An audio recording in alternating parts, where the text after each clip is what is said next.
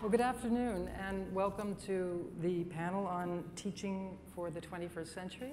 My name is Carla Hesse, and I am the Executive Dean of the College of Letters and Science at UC Berkeley. And I'm very excited about the conversation that uh, we're about to have. I'm going to very briefly introduce each of our speakers so that that's done, and then um, in the order in which they'll be speaking. Uh, and we're hoping to leave plenty of time for interaction. Uh, the hope is to sort of try to cover as much of the landscape of uh, emerging ways of thinking about teaching and doing teaching, new modalities of learning, insights from cognitive science, diversity of teaching and learning environments and landscapes, and uh, new tools and technologies. So we're going to begin today with um, Anthony Monaco, who is the president of Tufts University. He became uh, president in 2011, having previously served as pro vice chancellor for planning and resources at the University of Oxford, where he also directed the Wellcome Trust Center for Human Genetics. He currently chairs the steering committee of the Talloires Network. Well, he will be followed by Jeff King, who is the executive director of the Center for Excellence in Transformative Teaching and Learning at the University of Central Oklahoma. And before taking up that role, uh, Jeff was UCO's uh, at, uh, at UCO. He was the director of Texas Christian University's Koehler Center for Teaching Effectiveness. Uh, his research and applications interests focus on what academics can do to help their students learn. That seems like a central concern for all of us. Uh, he will be followed by Warren Bebbington, who is here as vice president, uh, vice chancellor and president of the University of Adelaide in Australia. And before becoming the vice president, uh, the president and vice chancellor, he was deputy vice chancellor and pro vice chancellor of the University of Melbourne. Uh, uh, before that, he was on the dean of music at Melbourne and uh, also uh, uh, on the faculty at Queensland University. To conclude our panel will be Michael Crow, the president of Arizona State University. He's an academic leader, an educator, and designer of knowledge enterprises, especially well known as you, uh, in the area of technology policy uh, and, um, and higher education. He's been president of the Univers uh, Arizona State University since 2002, uh, and he's been its uh, guiding leader in the transformation of one of the nation's leading public metropolitan research universities. Uh, he's known for coining the term the New American University. Prior to that, he was my own chancellor's colleague at Columbia University, where he served as vice provost. So I will first welcome Anthony Monaco to the stage. Um, thank you very much, Carla. It's a pleasure to be here to kick off this panel discussion of teaching for the 21st century. I thought I'd fo focus a bit more on education and the evolving nature of higher education, particularly here in the US. A lot of this is due to how um, institutions, and there's a diversity of institutions, of course, um, across the country that are really trying to reflect the needs of the societies in which they operate. Many of them are training or educating individuals for a local or regional economy. Others are doing it on a national or global level.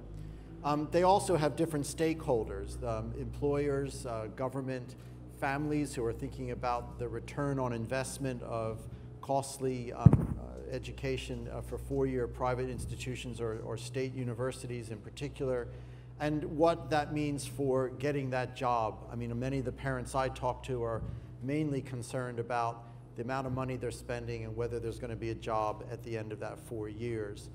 I'd like to take um, an angle here where we think a bit more not so much about the short-term gains of getting a college degree, but also what the long-term benefits are. Some um, people have estimated that about 65% of our, our graduates are going to be in jobs in the future that are yet to be created. And are we educating people for that first job, or are we thinking about what they may, what skills they may need for lifelong learning and to adapt to new technologies and new opportunities uh, in the job market in the future. And I think this is really where the college degree is a ticket um, to those broader skills. And one of the things I want to talk about in particular at the bedrock of education for the 21st century is the liberal arts education. At Tufts University, this is very important to us. Um, the critical thinking skills, the writing uh, ability to uh, interpret text with new, um, in, new ways, um, being creative.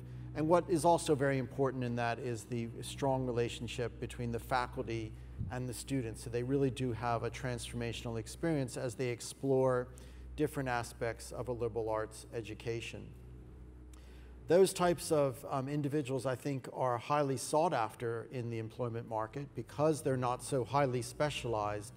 They do um, offer leadership and really the idea to uh, challenge the status quo and how things are done and think about ways in which they can be creative and innovative. And many of those individuals will go on to be leaders and also uh, adapt well to the changing environment. At the same time as we develop a, very strong liberal arts education, um, we are also thinking about what is going to change and what are the needs of employers at the moment. I'm a member of the Business Higher Education Forum, which is a lot of Fortune 500 CEOs and university presidents who come together several times a year to discuss what those gaps are in what employers need and what um, higher education is providing.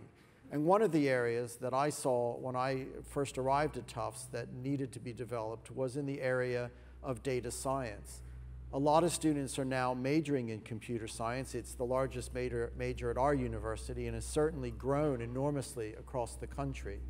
But computer science, I think, is one part of a much larger need, which is the big data that is driving a lot of the economy, a lot of decision making, and we need to provide the curriculum and education for that type of uh, computational statistics, um, the ability to manipulate large data, and to draw some interpretations from it. I think this is an important part of an education for the 21st century, which really does complement the more literary or um, skills that you get from the liberal arts education. So we're developing a new center on data science, which will go across the university which will provide both a, a curriculum and a major or minor, as well as uh, research skills for our um, different schools uh, in different areas.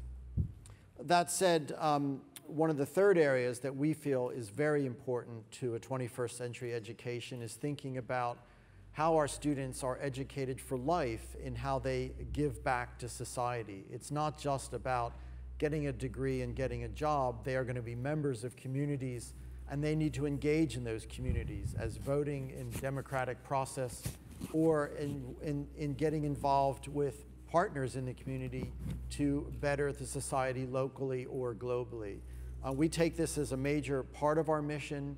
Um, we have a Tisch College, uh, which works across the university with faculty fellows, as well as students who are scholars, not only in volunteerism in schools and various or nonprofit organizations to help move things along, but really listening to the needs of our community and creating uh, true partnerships where we can get faculty expertise and student um, enthusiasm and passion to make a difference on projects like that. Uh, I'm also chair of the Talloires Network, which Carla mentioned, which is 350 universities across the globe that have this as a major part of their mission. For many of those universities, the, um, the local community looks to the university to provide those types of partnerships. It's important to their economy, it's important to their survival as a community to draw on university expertise, particularly in areas where there might not be as much government support for those areas. So we feel that this is a very, very um, essential part of, of uh, education that you not only major in something, get involved in co-curricular life, and think about your um, academic or professional uh, future, but that you learn how to be um, citizens. This is something that we feel is important to the nation and to the globe, and it's a big part of our education. I'll just briefly mention um, on the teaching front, we spend a lot of time with our faculty. Uh, we have a Center for Excellence in Learning and Teaching which helps faculty understand um, how to use new technologies in the classroom. So there's lots of workshops and a lot of interest in our faculty in new technologies and how they can enhance the learning experience of their students. We also are putting a lot of effort in how faculty learn how to teach to a diverse classroom. That's not only a classroom um, of students from a variety of different backgrounds, but also a variety of different learning um, abilities and learning um, styles. And it's important for faculty to understand that diversity when they're teaching um, in today's 21st century classroom. So I think I'll end there, Carla, and happy to hear from my colleagues. Great. So, Thank you. And now we'll hear from our next speaker, Jeff King. Ah, thank you. And you guys Uh, didn't come in the right order, but that's okay. We can Not a problem. Um, What I'd like to do is uh, frame a little bit uh, the discussion about teaching in the 21st century. Uh, You can tell by my title, and I'm amazed it fit on one line, um, uh, Center for Excellence in Transformative Teaching and Learning, that I will speak about some transformative aspects of what is happening, but probably what needs to happen more concerning uh, teaching in higher education in the 21st century. If you think about it, and you think kind of on geologic time terms, um, the actual idea of even investigating teaching is not that old in terms of what's going on in higher education. 1957, of course, right here in Berkeley, uh, Center for Studies in Higher Education. It was only 1962, University of Michigan, first teaching center in America at a college or a university. And so, in that frame of reference, what we have before us is a scenario in which there's not a long history about what can we do to help improve teaching, to help uh, our students learn well compared to other things that are hallmarks of long standing in the academy. Um, what I like to use as um, a parallel is that higher education right now is facing its own disorienting dilemma. And for those of you not familiar with transformative learning coming out of the adult education um, ethos, the disorienting dilemma is what Jack Mezirow identified as um, the thing that makes a person stop and think, uh oh, I'm not prepared for doing this thing, or I need to do something differently, or what the heck is going on. Um, higher education in the 21st century, in some ways, is now facing that disorienting dilemma concerning what do we do in order to address the students that we have in our class. And if you leave the faculty out of that conversation, you do it at your extreme peril. Because the faculty are the ones that are the front line, if you will, in helping 21st century students succeed. So, what I would suggest is that the value um, of the teaching part of what faculty do needs to be um, very much emphasized uh, at every level, nationally, at the state level, at the individual institution level, and um, frankly, the historical systems and structures, infrastructure uh, around teaching may not, in many places, have included the, um, the evaluation, the assessment of how effective a faculty member is in helping her students learn. And for goodness sakes, we're over 20 years after Rob Barr and John Tagg's um, foundational comments on this in Change Magazine, moving from the teaching paradigm to the learning paradigm and answering what's in front of higher education in the 21st century concerning teaching, I think very much is a learning outcomes focus because we're moving to evidence based practice, data analytics, gathering data to help us inform what we do and do it better. And so I like this um, frame of transformative learning because, yeah, you start with the disorienting dilemma, but among the stages that follow, a critical reflection of what you're actually doing now is one of the key stages, and then you gather data. But at the end, you have to decide how do I or the institution fit this new thinking into what is my day to day practice, my day to day living. And I think that's basically the place where higher education is um, at this stage. And the very good news about this is that there's incredible work being done at um, college and university teaching centers um, to help faculty, help students of all uh, of diverse uh, backgrounds, as Dr. Monaco mentioned just a, a, moment ago. And we just need to support that. Um, we need to instantiate it if it's not there already. Um, and engaging that faculty center, the teaching center at an institution is one of the, I believe, strongest ways that you can make the most rapid advances in terms of how do we turn the ship around? What's the trim tab on the aircraft carrier? I think it's the teaching center when leveraged properly. Great.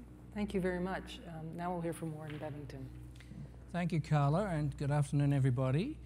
Uh, much has been said the last couple of days about the Research University, and uh, I'd like just for a moment to take you back to the moment when the Research University began, because that happens to also be the moment uh, of the beginning of the last great revolution in university teaching. So this will be a bit of a story, but then I'm from the humanities, so what do you expect?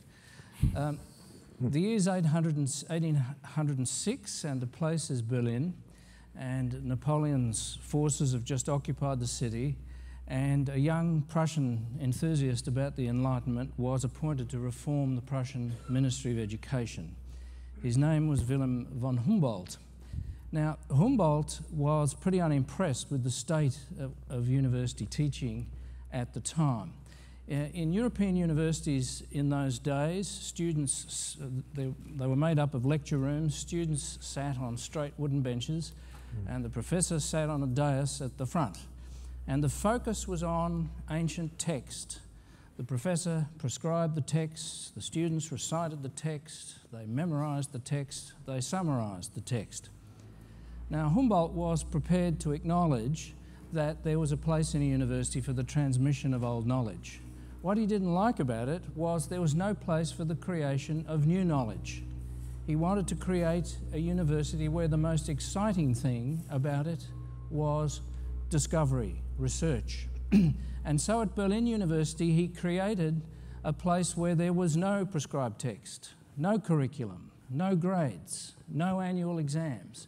Each student, from the first year they were there, was given a research, an individual research project and they met together each week not to attend a lecture, but in a small seminar room to sit down with other students and discuss their progress with the professor. and Humboldt writes about these seminars in very excited terms. They would be serendipitous, completely unpredictable. The originality of one student would spur on the next, and so on. Students flocked from across Europe, England, and the US to see this new kind of university in action. And eventually, over time, by the 1950s, most uh, leading universities in Western countries now had the PhD, which was the new degree that Humboldt had introduced for this exercise, and the research seminar. However, then, about 1970, a terrible thing happened and that was that people of my age were suddenly old enough to go to university. the baby boom generation, that huge bulge in the population, descended on universities everywhere and swamped them. Lecture theatres creaked at the seams, and we were back again into the midst of transmission of knowledge in lecture theatres which now contain 500, 800 students. In my country, often 1,000 students in a lecture, an extremely impersonal, kind of education and transmission now, under those circumstances, at a level that was, in some cases, rather rudimentary, a long, long way from Humboldt's vision uh, of the small discourse about research. when I became Vice Chancellor at the University of Adelaide, we were keen to do something about this, so we took two decisions. Firstly, we decided to stop expanding the numbers at the university. Instead of growing, we would change. We would go back to small groups. Secondly, we made a pledge that every student in every year of every course would have as a centrepiece of what they did, what we called small group discovery. A small group, not with a, a teaching assistant, but with a tenured professor, but not just a small group, a small group that was working on discovery, on the skills of research, on problem solving, analysis, criticism, uh, and so on. Now, you might ask how, in the mass modern public university, where every day the president has a dollar less than the day before, this could possibly be done. And that was the first thing I was asked. Where's the money coming from? And I said to the faculty, don't even mention money because I haven't got any.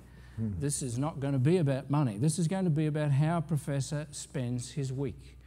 And so instead of the professors spending their week uh, creating slides, preparing to give lectures, uh, we rolled most of the lecture content over online. So the professor would give a lecture maybe the beginning of the semester, the middle of the semester, the end of the semester. We trebled the IT budget, pulled money out of lecture theatre refurbishments and construction and put it all into IT infrastructure. Uh, and so from then on, the students most of the time watched the lecture content at home, online. They came to university for small groups where the professor would begin by saying, okay, what didn't you understand about the material? Now, uh, I can't claim this is particularly original. We rolled this in in 2013. We introduced this for all our first year bachelor's degrees, then second year, third. This year, we've we finished the fourth year, and so it's now pervasive right through the undergraduate curriculum. It's, it's a version of blended learning, I guess. but uh, I happen to think that we're at the beginning of another great revolution in university teaching. and that it wouldn't surprise me if in a few short years almost all that is codifiable about the content we deliver uh, is available online and delivered online, probably free, uh, thanks to the MOOCs. We're very involved with the MOOCs uh, at Adelaide. And that will free the time of the faculty to focus on the uncodifiable, experiential learning. What happens around the lab bench, mm. what happens in the seminar room, what happens in the Socratic discourse, in other words, on the things that Humboldt thought would be the most exciting thing about the research uh, university. So, uh, now what does this mean for the curriculum? Uh, uh, one thing's certain, it won't mean vocational training. It probably doesn't necessarily mean the old major elective general requirement we have, uh, you know, a, a, a pattern that is so universal that it just astonishes me there's no critique of it, especially as we've now got evidence that the thing that's transformational is not what you do in the major. Uh, the most transformational experience is, is for those students who do the thesis, who do the dissertation exercise. So I happen to think we're headed to an important revolution in teaching, but that the way forward is really the way back, back to the Humboldt ideal. Thank, Thank you. you. And now last but not least, Michael Crow. Thank you, uh, Carla. I think, I think what I'll do is spend a little bit of time, um, uh, based on the other comments that I just heard, thinking more specifically about the uh, 21st century itself and the landscape of what we've encountered, where we're coming from, and I'll use mostly American um, uh, examples, but I think that uh, what I'm about to say is, uh, applies everywhere, and that is that it, it may be that human beings in the in the 21st century uh, have finally reached a point where education is now a universal aspiration. Uh, we're actually fighting and, and arguing, and even uh, worse than fighting and arguing, against people who believe that women shouldn't be educated, who believe that education is something that should be doled out. We're, we're past all of the constraints that held us back for, for centuries and millennia where education was viewed, even from Plato's day, to be something for the few, not for the many. Uh, and um, uh, that change, which has been highly manifested in the United States in the last 150 to 200 years, is one which is really important to understand what teaching in the 21st century really might mean. If you have ubiquitous demand for learning, if you have aspirations for learning that are going to cut across the entire society, all elements of the society, if you have ever increasing complexity in the evolution of our species on the planet, going from seven and a half million to 10 billion, and global trade, and instantaneous change, and instantaneous this, and careers unlike anything that have ever been experienced before, and jobs and adjustments. You know, just think of uh, when we actually do see uh, driverless vehicles, at least in the United States, that means millions of jobs instantaneously eliminated because people were driving all of those vehicles for a living. And so, just looking at those kinds of things, what you begin to see is that we are confronting and need to confront an expansion and an enhancement of the university and college based teaching and research and discovery enterprises that we're presently operating. A couple of data points. Uh, first, in the US since 1980, there's been a fantastic opportunity for students that come from families of modest incomes and below to get a grant from the United States government, of, which is almost $6,000 cash, to help pay for their chance to go to college. Millions and millions and millions of students have taken these grants. Less than half of them since 1980 have any degree whatsoever. No certificate and no degree. Less than half the people that have attended college that are alive today in the United States have a degree or a certificate. So, one of the things that it seems that we've experienced just at the end of the 20th century is a sputtering, some kind of a, of a set of less than uh, desirable outcomes of the educational enterprise that we have inherited. And so, because of the fact that, that uh, education has now become a universal aspiration, it's not likely that that education will mean at some point, well, we'll be satisfied with everyone just having a high school diploma. We'll be satisfied. That would be like saying we'd be satisfied with everybody just learning how to read or count. No, the human spirit is too strong. The human desire, the human drive, the human creativity index, all of the things that we are is too great. And so, this notion of, of what we're confronting, we have a system, uh, somewhat like um, Warren just said, it sort of ran its course a little bit. It got overcrowded and broke down a little bit. Schools, some schools uh, decided that the way that they could control their environment was then by admitting only the upper, upper quality students coming out of high school because it's the burden is there's just too many people, too many kids, too many things going on, too much diversity, too many different ways that people think and learn, too many cultures, too many ways. So imagine all of those characteristics and all those variables are expanding. So, what do you do? Well, you don't abandon the things that have worked fantastically well. You don't, you don't uh, as some people in the private sector have argued that college would go away. Those people have no idea what they're talking about. That somehow technologies would come in and take over what colleges do. Those people have no idea what they're talking about either. Uh, they, they're just largely people seeking some sort of uh, personal return from investments that they might make in, in technologies and so forth. But what it is time for us to do is to rethink the teaching model itself in lots of different ways at the same time to embrace diversity, to embrace scale, to embrace speed of change, not by throwing anything out. The American Greek academies that operate in, uh, at, uh, at Bowdoin, at uh, Williams, at Oberlin, at uh, other colleges like that around the country, they're fantastic and they need to keep going and continue. Uh, the, uh, the, the notion of a Humboldtian research university that goes back and flips all the lectures and then drives people into experience based learning around complex problems and solving, all at some sort of scale. We need that. But we also, it turns out, need probably to start thinking about different types of teaching, learning, and discovery institutions. What's happened to us now, and it's really a sad state of affairs, most colleges and universities line up around some aspirational target we need to be as good as, or as elite as, or as perform in the same way as some other to be named school. They all line up in a simple model uh, of replication with no acceptance, even in the rankings of the Times higher education rankings and so forth. It's like, really, you're going to take 2,000 or 3,000 or 5,000 colleges and rank them all in some kind of line? I mean, really? I, I won't even give you the slang American term for what that means. And so, and so uh, it's, it's, It's, it's not good.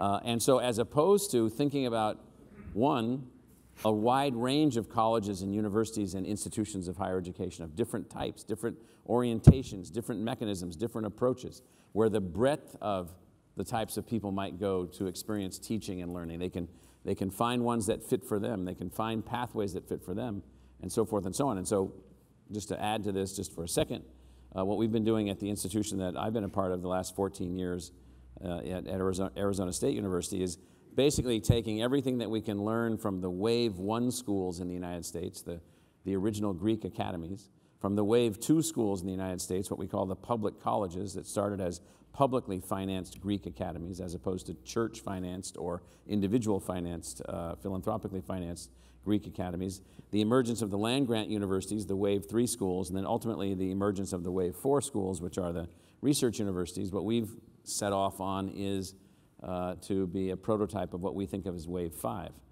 Not in lieu of any of the previous waves, but as a new type of institution, one which is high speed in its orientation, technologically enhanced, technologically embedded, able to adapt, able to change, able to teach across a range of intelligences, types of intelligence, not levels of intelligence, types of intelligence. We also become, we often become confused about, about what those things mean. And so the long and the short of what I'm arguing for, what the point that I'm making is teaching in the 21st century means finding a way to accept a wide range of approaches. Find a way among those wide ranging approaches to create these teaching environments, to embrace this universal aspiration of learning, so that we might find some way to engage the entirety of our society in teaching and learning related outcomes. I'll give you one uh, example. Uh, in the last, um, in 2006, we were visited by a friend of mine, the late Chuck Vest, who was uh, previously the president of MIT and at the time the president of the National Academy of Engineering. And he was going around the country trying to find engineering programs that might be willing to rethink how they worked. And, and because we weren't getting enough uh, uh, women into engineering, we weren't getting enough uh, minority students into engineering, our engineering as a result was overly focused, perhaps narrowly focused, perhaps culturally constrained. Perhaps we weren't able to derive the kinds of solutions that we might derive from engineers because our engineers came from too narrow of a band of our population. So he said, What's your suggestion? He said, Well, I haven't found anybody willing to eliminate all their engineering departments and build grand challenge oriented engineering schools. I said, Okay, well, Chuck, we're probably crazy enough to do that here. And so we did it. We eliminated all 11 engineering departments. We created five Grand Challenge engineering schools. The engineering schools are built around what we think are the kinds of things that young people, millennials, want to work on. Sustainability is one of the engineering schools, uh, bio and health systems is one of the engineering schools. And so we went ahead and did this. Took two years, one year of arguing, one year of implementing. And then, and then we began this process of moving the thing forward. So at the time that we finished that redesign, we had 8,500 engineering students with a 68% freshman retention rate because we were still operating under the weed out model. We then greatly infused new technologies into this new grand challenge oriented engineering school. And we began seeing dramatic changes. So we went from 8,500 face to face, full immersion engineering students in 2008 to 16,000 full immersion engineering students in 2016 and 4,000 online engineering students. We went from a 68% freshman retention rate to a 90% freshman retention rate. So twice as many students face to face with three times the number of women students and four times the diversity in that student body. And so from our perspective, in that short time frame, using a new approach to teaching, a new approach to learning, using that as just one example, we were able to make dramatic changes in this notion of creating a differentiated learning environment, not to supplant any previously existing learning environment, there's great engineering schools that have no research. There's great engineering schools that are small. Uh, and so uh, we went ahead and did this, and it uh, worked. Great. Well, thank you all. And I'm going to just throw one question out, but I don't want you to answer it. I just want you to think about it while uh, we're inviting other questions. Um, you know, you've all stressed, and I think I completely endorse this, the idea of a diverse ecology of learning both internal to uh, our campuses, but also in a national and international landscape. We often, but, and you've all talked about the way in which technology has, has transformed that landscape, and um, I like very much the disorienting dilemma phrase. Um, I want to ask you about what I would call slow learning. Um, we often joke at Berkeley that getting an education at Berkeley is drinking from a fire hose. Uh, and I think that's only gotten intensified by the accessibility of teaching and learning instruments, tools, opportunities, and so on and so forth that, you know, spill outside of the classroom and saturate everyday life. Um, but there's a lot of cognitive science that's shown that um, more is not better and faster is not necessarily better. Uh, that uh, if we look at the retention rate, the absorption rate, the apprehension metrics that we have of what students retain, uh, it turns out that you know using a laptop to take notes is probably the least efficient way to learn, and that the pen is a little more efficient and the pencil is even better because it actually slows down uh, the ability to uh, mm. Uh, take in information, to rephrase information, and it requires more condensation. So I want to make put out there a question of what about slow learning, but as we do that, I want to just open open now uh, the uh, the floor for questions. And I believe there are microphones out there, so if you just throw up your hands, uh, we'll get them. Uh, thank you very much for the wonderful presentation. Francisco Cantu, Tecnológico de Monterrey, Mexico. It has been said that uh, universities uh, nowadays are uh, educating students from the 21st century with professors from the 20th centuries using methods from the 18th uh, centuries or, and even before. And some terms have been coined, such as the millennials, the digital natives mm-hmm. and the digital uh, migrants and even the digital ignorance. No? so the question is uh, for the 21st century, which is the, the theme of this, uh, of this panel. So how are we going to deal with all these uh, differences? Uh, we seem to have, there seem to be gaps uh, between generations. And one specific uh, aspect of this is the thing that uh, education doesn't seem to be a guarantee of getting a job, and education doesn't uh, to be a guarantee of being a good person. For instance, uh, many of the persons that uh, sell weapons or that have the power to start wars are educated persons. So they have gone to school, they have, gone, they have obtained university degrees, but this doesn't seem to reflect on the decisions they are, they are taking because we have wars, we have uh, weapons, we have uh, a lot of bad things. So are we missing something in the teaching of the 21st century that will allow us to have peaceful persons, uh, persons uh, preoccupied by others and such things? So so I, I take that as a question about what about the moral development of our students and well, I think I would come back to the, the importance of civic engagement. If a person is being educated just for their own advancement, for their own benefit, and not thinking about the benefit of society to that education, then they will take a path that could be quite different from those that are thinking not only about themselves, but what they can give back to society, whether that's through their research, through their job, or through their actual um, organization of partnerships in their communities to help solve local problems using that expertise. And we take that very seriously as part of our mission, as do many universities. And I think that's a great way to educate um, students to help uh, overcome many of the challenges that we face across society. Would anyone else like to weigh in, or shall we take uh, some more questions? Yeah, I, I would like to respond to that for just a second. Um, and I think simply abolishing a four word phrase among um, faculty's conception of what they do in working with students would go a long ways toward this. The four word phrase is, it's not my job. Um, the fact is, we teach the students we have, not the students we want. The students we have bring in a diverse array of needs. Some of those needs um, are very, very important to address because they speak to civic engagement, um, willingness to vote when they get out, um, having what employers say they actually have to possess upon um, hire. And those are things like creativity, ability to work on a team with people who disagree with me. All of those kinds of things are incredibly important.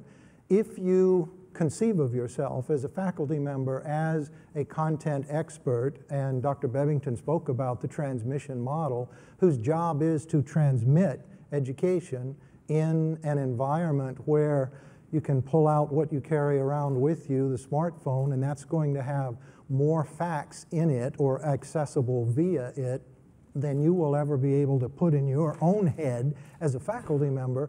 I think that um, faculty who take the challenge, who have the courage to say, it is my job to help a student understand it's not all about me.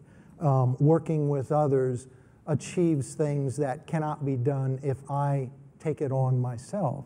And so, reconceptualizing what we do as faculty, I think, is really, really critical.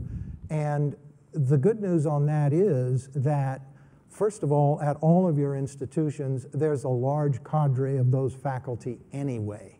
It's what draws people to the educational enterprise. The second piece of good news is, at least in my 22 plus years as a faculty developer in higher ed, I have seen a shift in new faculty coming to the institutions where I've worked over the years, and these new faculty are more willing to accept that role, to take that mantle on. And it's a beautiful thing. What it requires, though, at the institutional level is um, the courage uh, for the administration, for the institutional ethos to support that kind of professional development. A, a quick, very um, uh, easy example. If a faculty member wants to take on the um, challenge of flipping her class, for example, because it is um, uh, going to do something that will help improve student learning, the faculty member has to know that, hey, what happens when my student uh, end of term student surveys drop the first semester that I try this? She's got to be functioning from a safe place where the institution assures her we understand what you're doing, we are supporting you in this, and we take that into account when we assess what you've um, achieved and how you are doing as a teacher. So I think those are some things that can very, very definitely help. I think Mike wanted to come in quickly. Yeah, I think the only thing I would add is that probably very few of us in this room are millennials. Most of us are probably baby boomers or somewhere plus or minus that a little bit. Uh, and so I think it's really incumbent upon us to be cautious about wanting to take this standard human adage that the way things were done before is the way that they need to be done mm-hmm. in the future. I think that we've entered a moment with uh, what I call the Homo sapien nets, the millennial nets, the people born after 94 who have lived with nothing but access to uh, uh, unbelievable amounts of information. They now have access across billions of individuals to anything that they want, anything they can imagine, anything that anyone else could push on them or prey on them with, or any other set of uh, positive or negative uh, uh, flows of information. So, to blend sort of the two questions, I mean, I think the notion of slow learning is the right concept. Uh, but slow learning in a world of ubiquitous high speed access to everything. And so you have to find a new way to blend those two things together. So if you think of slow learning as the means by which wisdom is derived, mm-hmm. that slow learning is the means by which empathy is derived, and a whole series of other critical human characteristics that we've got to have, how do we then, as academia, in the world of high speed access to knowledge and information, in the world of technology, how do we create master learners who learn slowly? While having access to everything at the same time, while being immersed in whole new learning environments at the same time. And so, how do we create that? And how do we also not throw the baby out with the bathwater? So, if there's the, the great, tremendous seminar that you had with four other kids sitting in a room, as I did with a fantastic uh, professor of normative political philosophy, I mean, I can remember every, every word spoken in the, in the class, everything that was read, what it meant, how it sunk into my head, and so forth. So you have to find ways in which that is a piece of everything. So to me, it's not a function of either or, it's a function of finding a way to blend these things together in ways in which humans have never been able to experience those kind of learning environments in the past. Great. I think There's a question here. I can't see the whole room. Now I can. Um, Thanks. It's Phil Baty from Times Higher Education. I'd just be quite keen to hear what the panel thinks about the role of study abroad in, in teaching. Um, I think there's a, probably a challenge in the UK and the US around the lack of international experience for a lot of, a lot of undergraduates. Excellent question, especially to Americans. So, Well, at, at Tufts, about 45% of our students um, study abroad either for one semester or a full year.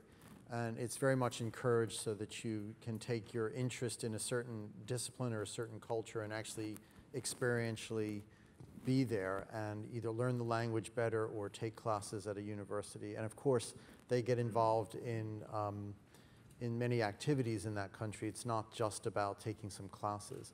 We've also instituted, uh, with our mission around civic engagement, a one plus four bridge year service learning program. So a range of students who are accepted um, can elect to do a full year of service, structured service learning in groups of five or six in a foreign country. We do it in Madrid, in Brazil, and Nicaragua, um, where they're involved in you know, doing something for that society, learning as a group, getting immersed in a foreign culture. And they come back much more worldly, much more um, understanding their position in the world, and I think it has a lot to do with how they finish out their education.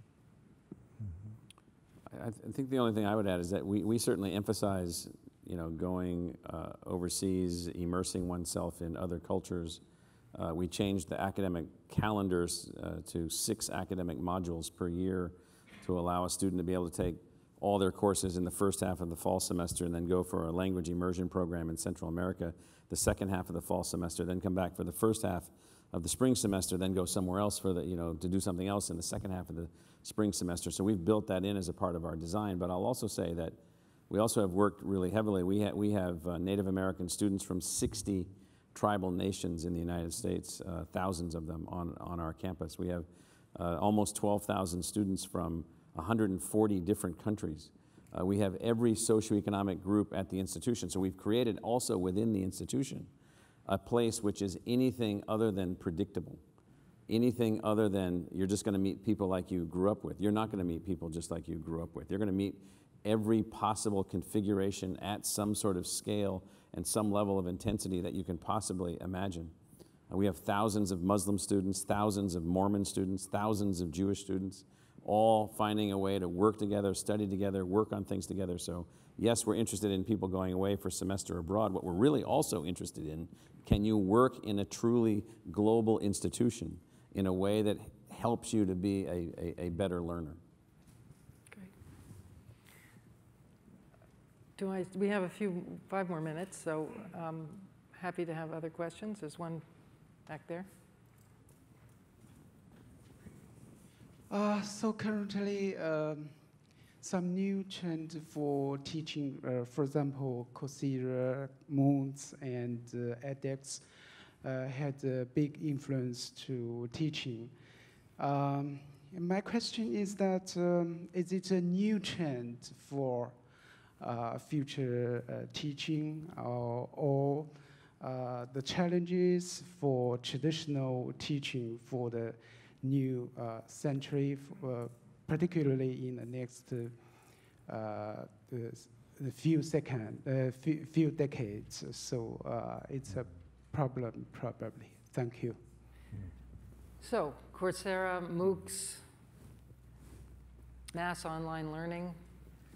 Well, we, we're, very, we're with edX, and we've got 360,000 students, and we expect to have a million by the end of uh, 2018.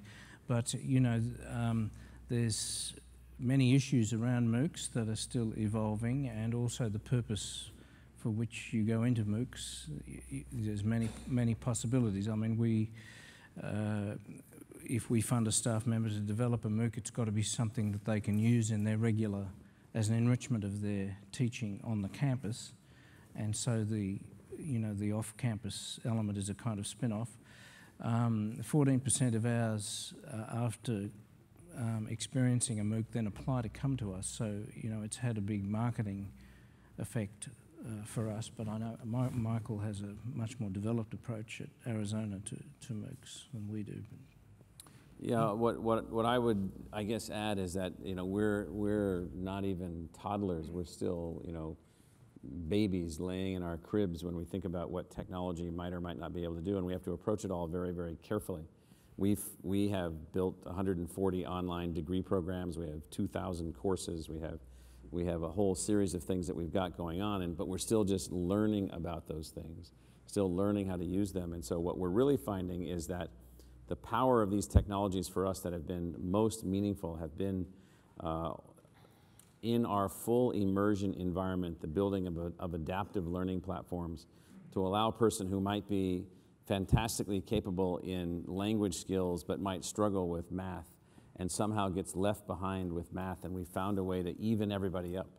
And so we found ways through adaptive and active learning platforms, and this is individualized learning. So where we're headed with all of this is the notion of individualized learning. So if you could, if you could take certain courses in certain ways where it then freed up all your time, your face-to-face time to be with faculty to think big ideas and solve problems and work in Humboldtian uh, laboratories and so forth. I'm not, I'm not saying that facetiously, I'm saying that literally. If you didn't have to take Math 101 and Econ 101 and things like that, you could work on your own and work with others and work through technology platforms. And what we have found is that that is a powerful way to learn. Uh, we've got about 40,000 students in a math class right now uh, from around the world, from 190 countries around the world, where we're getting unbelievable math outcomes. There are no teachers. It's all big data based, uh, deeply analytic things. If we can take that math course and the understanding that comes from that and empower those students with that understanding, then they're freed up to accelerate their learning in so many other ways. That's what we're looking to be able to do. Great. Yeah, one very quick comment, um, and it concerns how technology is enabling different kinds of teaching, which is really exciting. Even if it's low tech uh, in the term of, let's say, YouTube videos.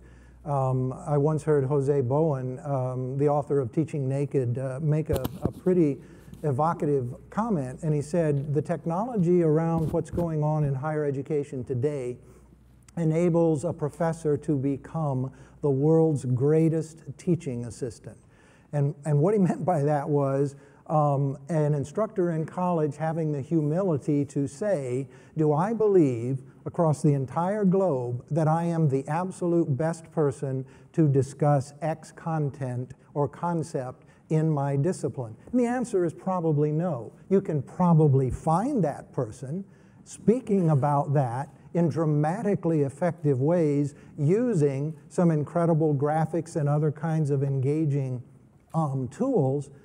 Why not leverage that and have that be what is the mechanism that the students uh, uh, use to obtain this? And then you've got the opportunity to work one on one, to expand, uh, and so forth. So I think uh, faculty taking the humility to take on all of the opportunities that technology um, affords today is, is an important aspect also. I think we are at the end of our time. Um, I would love to pose a number of questions to you, especially how to disrupt the reproduction of 20th century teaching for, in our 21st century universities, but maybe we can take that offline. Uh, uh, in the sidebar conversations. Thank you all for very stimulating uh, interventions, and, and I think that uh, I know I learned a lot. Thank you.